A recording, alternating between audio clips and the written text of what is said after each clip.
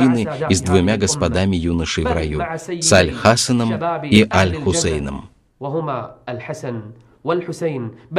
Аль-Хусейн, да будет доволен им Аллах, назвал одного из своих сыновей Абу Бакром, возможно, из-за своей любви к нему и того влияния, которое на него оказала личность Абу Бакра. لو أنفقت ما في الأرض جميعا لو أنفقت ما في الأرض جميعا ما ألفت بين قلوبهم ولكن الله ألف بينهم Таково было отношение Абу Бакра к Аль-Хусейну, да будет доволен имя Аллах.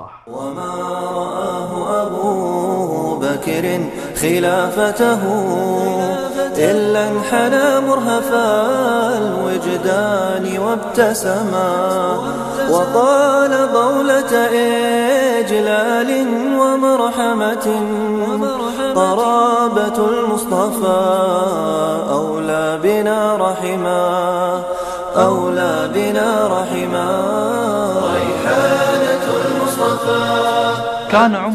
Умар знал о высоком положении представителей рода пророка, да благословит его Аллах и приветствует. А как же иначе? Ведь он слышал, как посланник Аллаха, мир ему и благословение, сказал, «В судный день будет разорвано каждое родство, кроме родства со мной». Этот хадис, который он услышал от посланника Аллаха, мир ему и благословение, побудил его обратиться к Али, да будет доволен им Аллах, чтобы посвататься к его дочери, Кум-Кульсум, дочери Али и Фатымы, да будет Аллах доволен ими всеми. Послушайте, как поступил Умар, да будет доволен им Аллах, когда Али дал свое согласие. Он направился в благословенную мечеть пророка и стал говорить, «Разве вы не поздравите меня? Разве вы не поздравите меня?» Люди спросили, «С чем, о повелитель правоверных?» Он ответил, с женитьбой на Ум Кульсум, дочери Али и Фатымы. Да будет Аллах доволен ими всеми. Между Умаром и сестрой Аль-Хусейна, дочерью Али и Фатымы, Ум Кульсум, состоялась свадьба. Она родила ему дочь, Рукаю, и сына Зейда. Зейд впоследствии гордился своей родословной и говорил, «Я сын двух повелителей». Да, ведь его отец Умар, а его дедом был Али ибн Абу Талиб. Родословная, словно над ней сияние солнца и свет утренней зари. Есть много случаев, рассказывающих о повелителе правоверных Умаре, да будет доволен им Аллах, и его зяте Аль-Хусейне. Один из них упомянул Аль-Хафиз ибн Хаджар в своем труде Исаба от Аль-Хусейна ибн Али, да будет доволен им Аллах. Аль-Хусейн рассказал случай, произошедший, когда он был маленьким. Он сказал, Умар произносил проповедь с Минбара пророка, да благословит его Аллаха приветствует. Тогда Аль-Хусейн подошел к нему и сказал, «О, Умар, слезай с минбара моего деда и встань на минбар своего отца». Умар, да будет доволен им Аллах, улыбнулся и сказал, у моего отца не было минбара. Аль-Хусейн продолжил. Тогда он посадил меня рядом с собой и сказал, «Кто обучил тебя этим словам?» «Никто», — ответил ему я. «О, сынок, а разве седина на наших головах не появилась только из страха перед Аллахом и страха за вас? Навести же нас и отужинай с нами».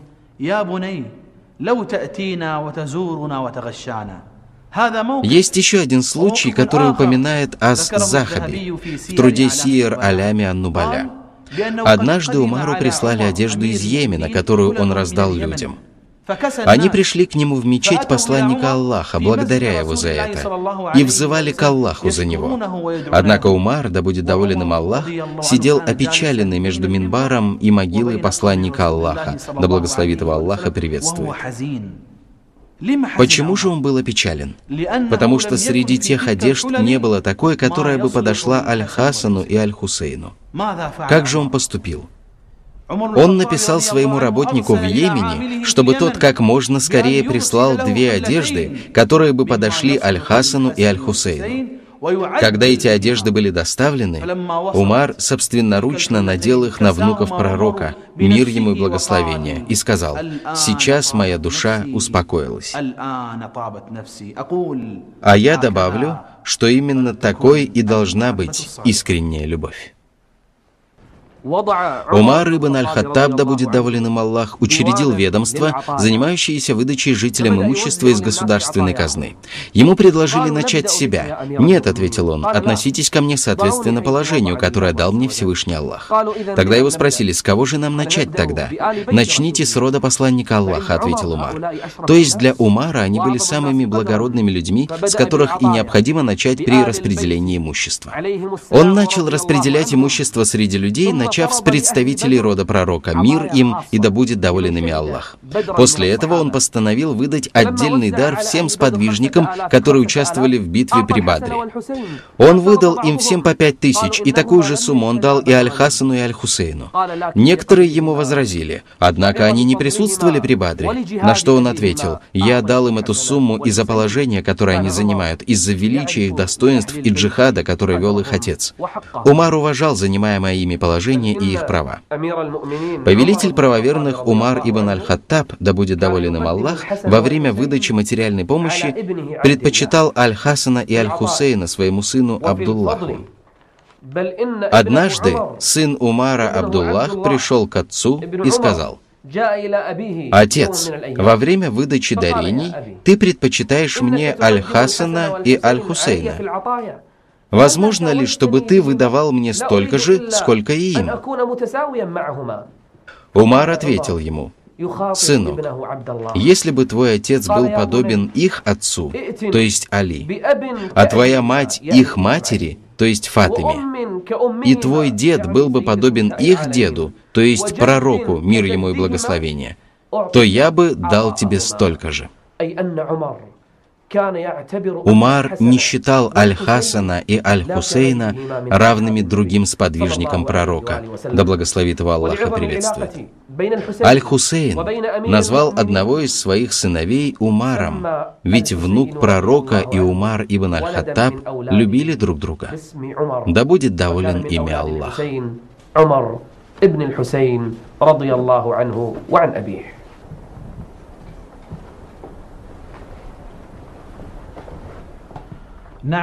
Действительно, одного из своих сыновей, Аль-Хусейн, да будет доволен им Аллах, назвал Умаром ибн Аль-Хусейном.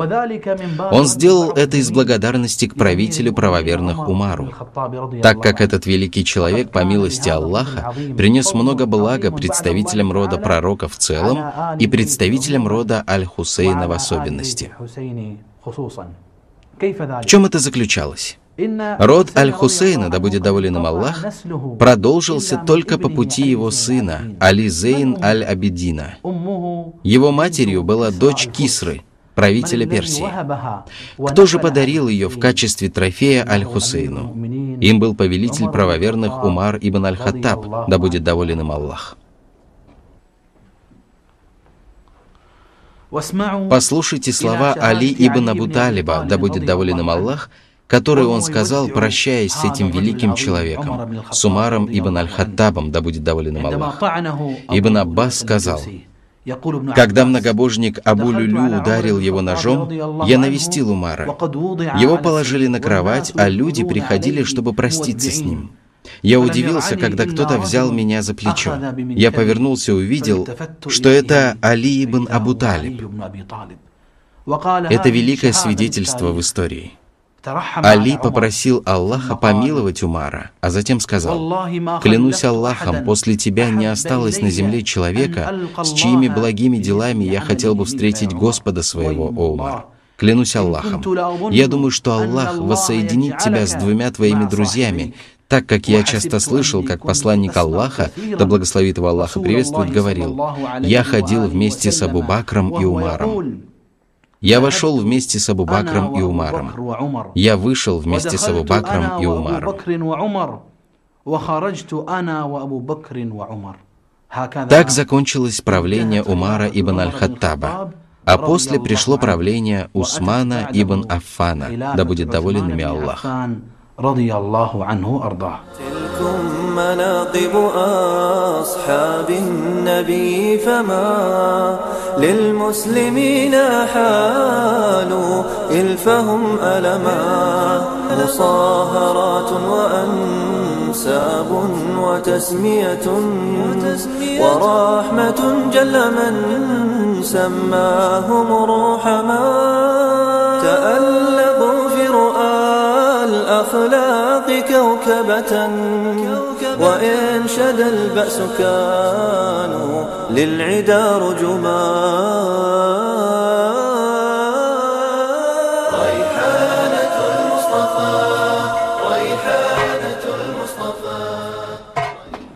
Во время правления повелителя правоверных Усмана ибн Аффана, да будет доволен им Аллах, Аль-Хусейн был окружен наилучшей заботой и вниманием. Как же иначе? Ведь Усман ибн Аффан был скромным человеком, который читал книгу Аллаха, плакал и боялся его. И более того, ведь Усман был женат на двух тетях Аль-Хусейна, и поэтому был прозван обладателем двух светочей.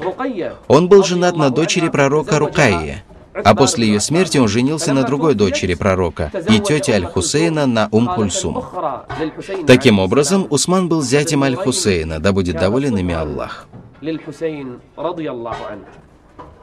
Во время правления Усмана Аль-Хусейн был известен тем, что плакал из страха перед Аллахом, много поклонялся ему и довольствовался малым в этой мирской жизни. Его сердце было связано с Аллахом, великим и возвышенным. Как же может быть иначе? Ведь он был воспитан в окружении пророка, мир ему и благословение. Но представители рода пророка были не только чтецами Корана и теми, кто много поклонялся Аллаху, но и воинами на пути Аллаха. Так и Аль-Хусейн во время правления Усмана ибн Аффана готовился к сражению на пути Аллаха. Он принимал участие в сражениях, открывающих Африку и другие земли. Все это он делал, подчиняясь велениям Всевышнего Аллаха. من قوة ومن رباط الخيل ترهبون به عدو الله وعدوكم Время правления Усмана ибн Аффана было временем открытия новых земель, среди которых была Африка. Однажды Усман ибн Аффан побуждал людей в мечети пророка, мир ему и благословения, присоединиться к войску, направляющемуся в Африку. Там присутствовали видные сподвижники – Абдуллах ибн Аз-Зубейр, Абдуллах ибн Умар аль-Хаттаб, Абдуллах ибн Джафар, и вместе с ними были внуки посланника Аллаха, мир ему и благословение, Аль-Хасан и Аль-Хусейн. Они также принимали участие в сражениях в Африке. Войско покинуло Медину и направилось в Фустат. Затем мусульманские батальоны прибыли в Бурку, а потом в Триполи. Их целью было очищение тех земель от римских оккупантов, которые изнурили жителей налогами и плохим отношением в дополнение к унижению и гнету. Также они ставили своей целью распространение ислама и послания Мухаммада, мир ему и благословение. Что же произошло в тех битвах? Между мусульманским и римским войсками состоялось сражение. Победа досталась мусульманам, а римляне были разбиты. Много их воинов погибло, включая и их предводителя, правителя Византии. Мусульмане одержали великую победу. Они приложили все свои силы для завоевания Африки. Как же может быть иначе? Ведь с ними были видные сподвижники, а также Аль-Хасан и Аль-Хусейн, внуки посланника Аллаха, да благословит его Аллах и приветствует.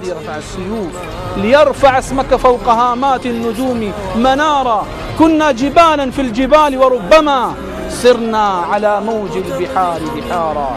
لم تنس أفريقيا ولا صحراؤها سجداتنا والأرض تقذف نارا. سبط النبي وبحر الجود إن عبسات وفارس الفتح لما يبلغ الحلما. والممتطي صهوات المجد من صغر والحرب تقذف من بركانها حمما. ريحانة